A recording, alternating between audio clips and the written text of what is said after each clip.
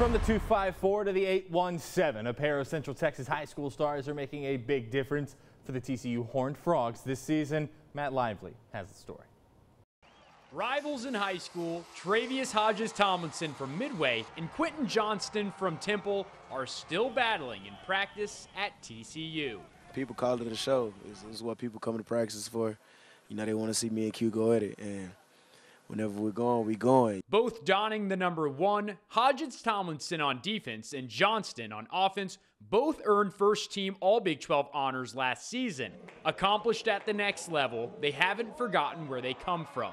Temple, kind of, kind of like obviously it's a small town, but the way the way the coaching staff ran stuff, it, it was it was it was close to um, it was close to a college atmosphere. Playing at Midway, a 6A school, you know, a big 6A school, already seeing you know the talent and stuff, and the size difference from playing in any other you know district or division in in football. They may not have liked each other when they were Panthers and Wildcats, but as Horned Frogs, they sing each other's praises. Q is a he's a really good receiver. He's one of the best that I've you know seen since I've been in college, and you know we can't do nothing but make each other better. So as long as you know I'm having a great practice with Q, you know the games won't be hard at all.